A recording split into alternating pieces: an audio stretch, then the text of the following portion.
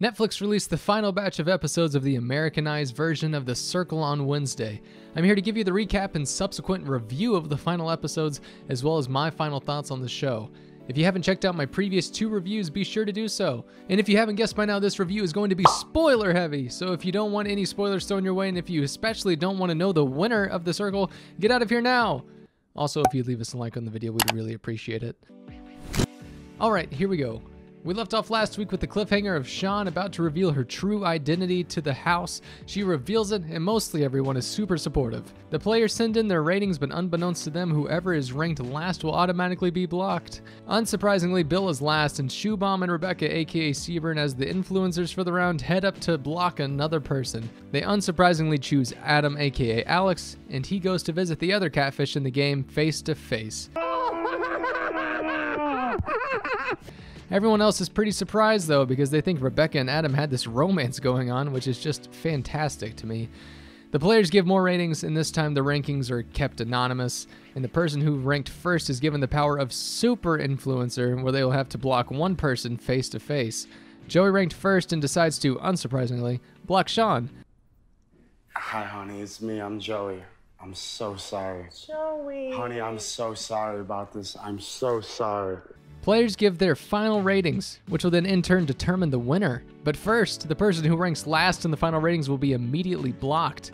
Unsurprisingly, that person is Ed, aka Ed and Tammy, and they go visit Sammie face to face.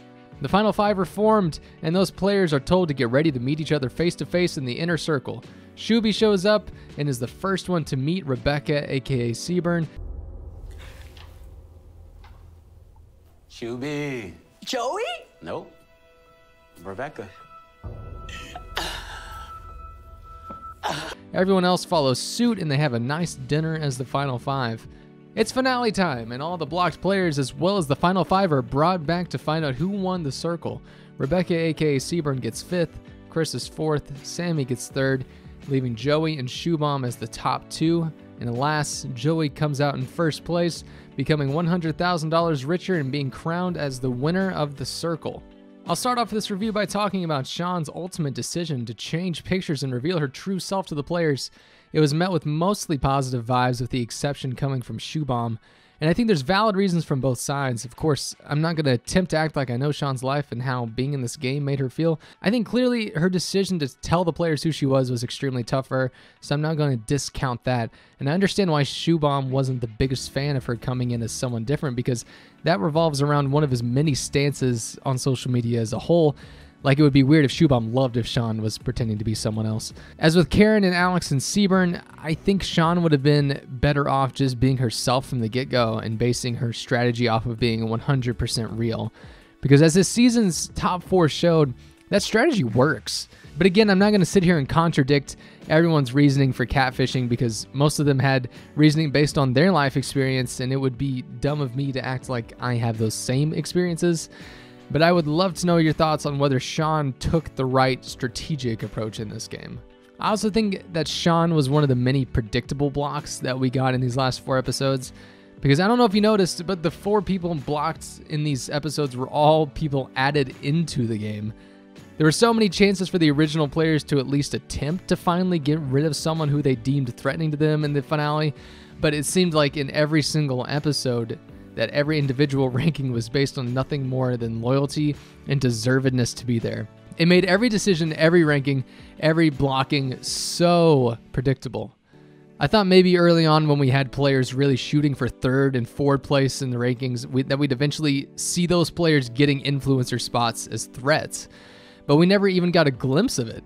Shubham was an influencer three fucking times and nobody even batted an eye about it. Last week, if I'd asked any of you who you thought the top three in the game would be, you would have probably said Sammie, Shubham, or Joey. This isn't me being frustrated at the game, it's me being frustrated with how the original players were playing the game towards the end. Especially in Sammie and Shubham's case, they could have made bigger decisions as influencers during their respective reigns of power that could have potentially had them walking out with $100,000. Instead, the original players seemed to only want to kick out those that were added in after the fact, and I think that decision cost a few of them a way better chance at winning. And had Joey ultimately lost, I would have had a more extensive part of this video on how dumb it was to take out Sean with the super influencer role, and on top of that, publicly tell everyone that he was the super influencer. But he won, so I don't care. But he still missed an opportunity by just taking out another added in player.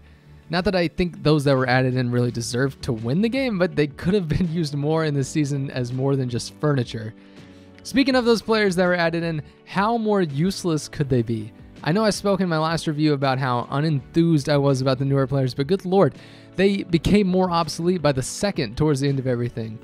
I think Bill said a total of two words in his stint, and Ed and his mom might have been the most useless duo of them all, especially Tammy, because like I, I feel like all she did was give Ed ideas on what to say, but then Ed would be like, "No, mom, you're dumb," and that was all that ever was contributed from her.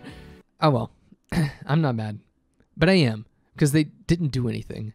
I guess I'll end all of this by saying that this entire season has been a huge surprise to me for how much I enjoyed it. Not knowing too much about the circle and the previous versions, I was worried on how much I was going to latch onto the show, but right off the bat, I was hooked. The players and premise both drew me in and had me invested only about an hour into the first episode. And I don't think that's just me. From the comments I've seen on these videos and online, I think there's plenty of people who feel the same way.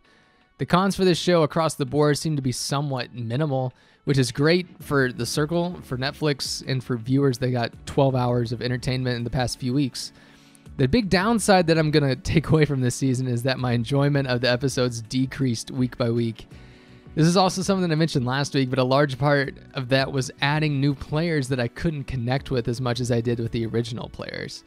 In a way, I think what I was experiencing with the added in people was exactly what the players were feeling too. I don't know. The sweet spot for me was definitely the first four episodes when everything was still fresh, when the conversations were new and exciting, and we were still slowly finding things out about each person. Towards the end, every conversation started to feel stale and hashtag calculated. I think Bill's comments about everybody being fake were accurate, and that aspect conversationally kind of got old for me. But I'm not going to sit here and act like that's not also part of the game. I think a big point the circle tries to make in its premise is that in itself, this game is a big popularity contest. Throughout the season, I just kept thinking about how that was really just a way of dumbing down the path to victory. But by the end, the last people standing truly were the most popular among the rest of the players. I think if the circle continues, that kind of end path is going to start changing because future players are going to adapt off of this season's cast, and that's really just with any, I think, game show. And crossing my fingers, we should get some ruthless gameplay in the future. I hope, for my sake. Probably the most profound moment in the final four episodes to me was Shubham coming to terms with the being your true self versus being a catfish self argument. Here's a guy that preached his distaste for social media, entitling it as Social Medusa, the whole series talking about how being yourself can get you so much further, all while the entire game he was putting most of his trust in a grown man pretending to be his girlfriend. And because of this realization, Shubham has this moment where he has to ask himself if I truly made the connection, isn't that the only thing that matters? But I think the point of being yourself in the circle is kind of a dead end in terms of how far your genuineness can reach. Because what's always going to get in the way is that $100,000 prize. And as we saw from every single episode, that forces nearly every bit of naturalness and genuineness to be hesitated because every word you say could potentially ruin that prize in the end. Okay, I've said a lot. I think it's about time I wrap this whole thing up. So thank you guys for keeping up with these videos through the past couple weeks. And if you haven't subscribed to the channel or checked out our Patreon, I would encourage you to do so. The Circle in its first run on Netflix is over, and I am satisfied with Joey as the ultimate winner. So I'll take that positivity and carry it into the next season. Until that happens, I'd love to hear y'all's thoughts on the season as a whole and what you hope for in the future. Thank you guys for watching again, and peace out.